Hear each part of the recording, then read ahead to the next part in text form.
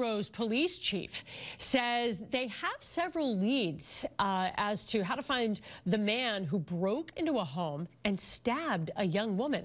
WBZ's Anna Meiler is live in Melrose now with the very latest. Anna, incredible story.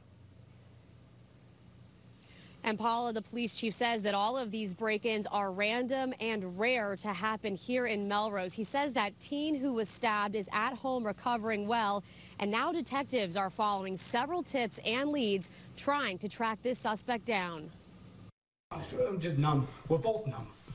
We haven't processed it yet. William Westgate is visibly shaken, recounting how he was woken up by the sound of his daughter screaming. Got the stab wound to the throat. She was cut in the back of her head. She has a slash on the top of her head, and she's also got a puncture wound on her shoulder. Westgate says around 2.30 Tuesday morning, a man walked into his home on Line Street, took a knife from the kitchen, and went into his 19-year-old daughter's bedroom and she woke up to him standing over her with the knife. He says the suspect had already rifled through his daughter's purse and then demanded she hand over her car keys. That's when the teen tried to fight him off. He grabbed her pocketbook that was next to her, swung it at him, hit it, and that's when he started just swinging it, trying to hack at her with the knife. And that's when she got cut. And I give her a lot of credit. She fought back.